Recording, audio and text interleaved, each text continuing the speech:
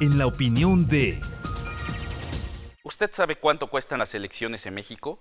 México cuenta con una de las democracias más costosas del mundo para las elecciones en este 2018.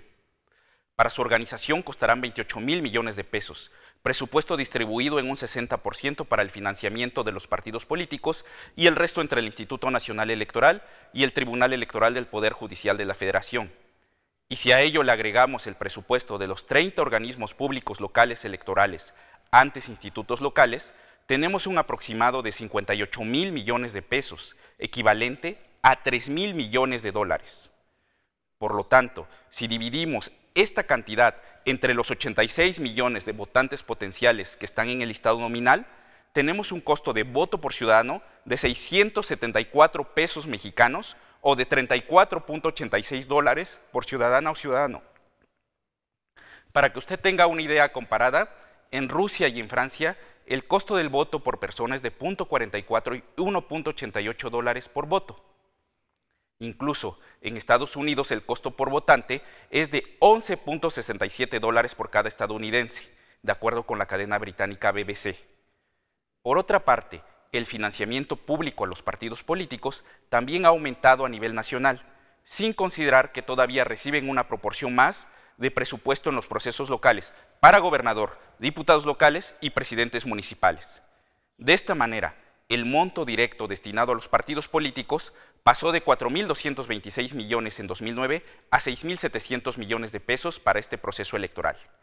Por tanto, las elecciones en México cada año nos cuestan cada día más. Hace algunos años el presidente del IFE, José Wondelberg, decía que la democracia procedimental era costosa porque alta era la desconfianza en las elecciones.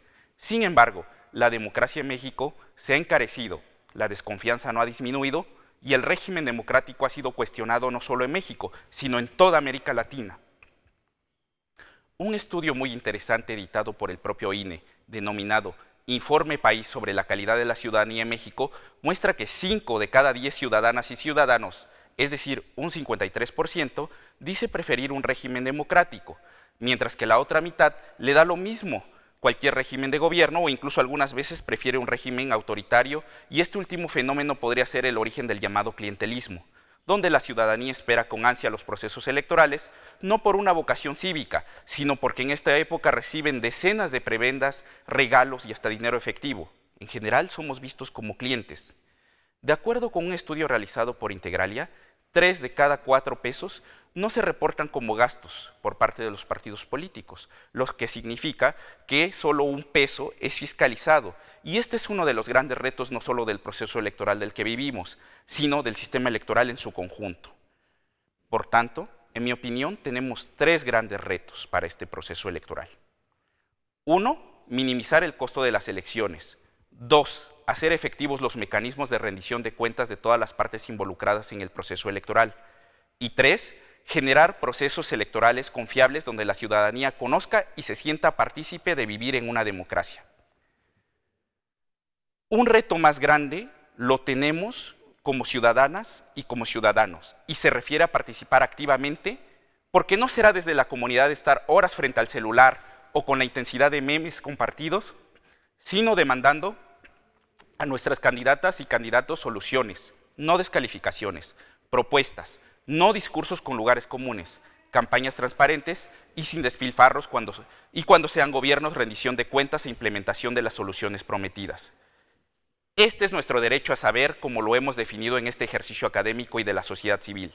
Y este es el momento para hacer válidos los avances que tanto han costado a nuestro país, para contar con una democracia como la que soñaron nuestras abuelas y abuelos un día.